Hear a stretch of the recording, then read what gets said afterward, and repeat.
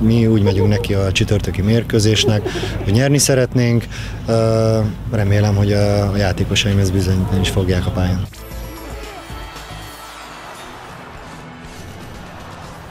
Nem beragadt, hanem állva maradt a bajnoki rajton a videóton, ráadásul a nemzetközi kupában sem bajnoki címvédőhöz méltó módon szerepelt a csapat. A nyáron kinevezett vezetőedzőt Bernard Cassonit rengeteg kritika érte, végül a Vasas elleni meccsen a játékvezető a lelátóra, néhány nappal később a klubvezetése pedig hazaküldte a francia edzőt. Egyre nehezebben viseli azt, ami történik a csapatával. Mivel a Poznány elleni Európa Liga meccsig csak néhány nap volt hátra, az ilyenkor megszokott forgatókönyv következett, az edzői stábban dolgozó Pető Tamást kérték fel a csapat vezetőedzőjének. A korábbi válogatott játékos eddig csak alacsonyabb osztályban dolgozott vezetőedzőként. Mély vízbe dobták, de nem ilyet meg a feladattól. Nagyon felemelő érzés a videóton kispadján ülni, állni, másik az, hogy ugye nagyon, nagyon nehéz helyzetben kapta meg a csapatot. Nagyon mély gödörbe vagyunk, ahonnan azért két-három nap alatt nem lehet kimászni, de, de azon vagyunk, hogy ezt megoldjuk, azon vannak a játékosok is, és amit mondtál, hogy azért, azért most már lehet látni, hogy azért mérkőzésre mérkőzések sokkal felszabadultan és jobban játszunk, mint ezt megelőzően. Azt már hallani lehetett, hogy Bernát Cassonival szinte mindenkinek megromlott a viszonya az öltözőben és a klubházban is. Ennél talán csak az a meglepőbb, amit Pető Tamás mondott, amikor arról kérdeztük, hogy mi változott, amikor átvette a csapat irányítását. Abszolút más irányba indultunk el, elkezdtünk edzeni. Tehát ott kezdődik és amit mondtam, tehát ez három nap alatt sajnos nem lehet felépíteni egy nyolc hét elvezetett munkáját.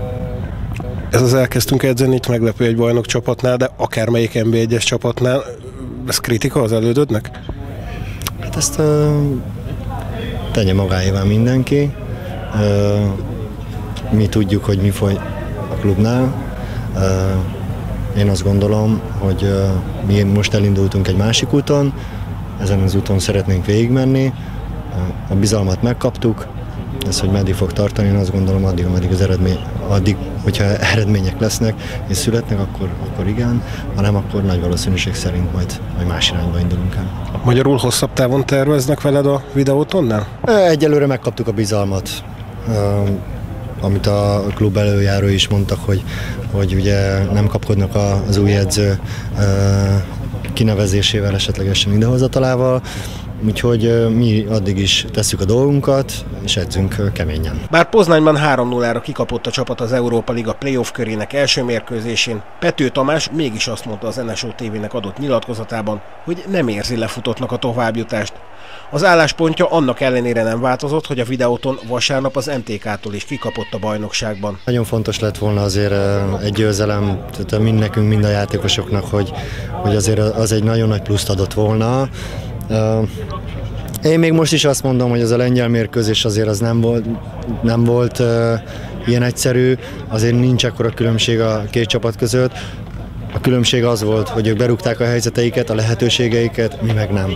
Hát ugyanaz jelentette a mai mérkőzésen is a különbséget a két csapat között, hogy ugye ők kaptak egy 11-est, azt berúgták, mi meg kidolgoztuk a helyzeteinket, és nem tudtunk gólt rúgni.